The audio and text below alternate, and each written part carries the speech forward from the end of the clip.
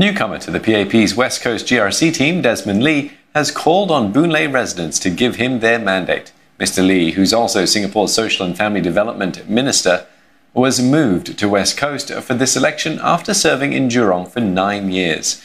In a Facebook video, Mr. Lee describes how the COVID 19 pandemic has added stress to people's lives. He outlines three broad areas that he will tackle if elected organising virtual job fairs to help workers, ensuring that government support schemes such as the COVID support grant and Comcare reach those who need help, and running local community initiatives such as food voucher programs for the needy.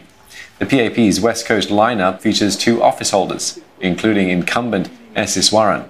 Speaking to the media at the reopening of Jurong Library, Mr. Iswaran says the PAP West Coast team will bring a breadth of experience to the constituency. Mr. Lee, he says, brings both his leadership as a minister in the cabinet and his familiarity with the ground to better serve West Coast residents.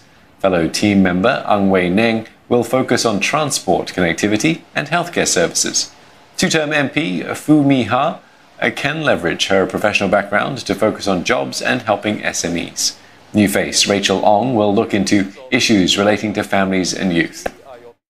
You know, when we finalized the team, it was to achieve a balance between experience and new blood, to strike the balance between the ability to not just think in large policy terms, but also to be able to execute well on the ground, and the ability to deal, to cater to the needs of a very diverse group of residents.